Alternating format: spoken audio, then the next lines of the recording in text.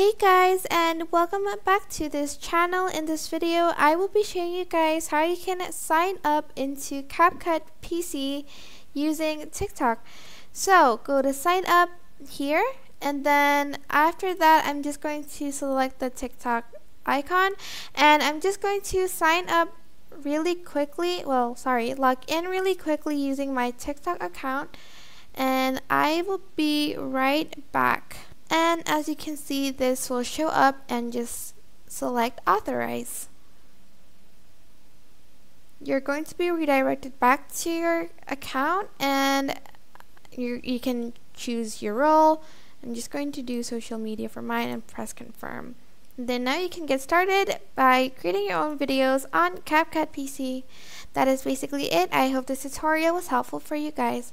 Don't forget to like, comment, share, and also subscribe to this channel if you haven't done that.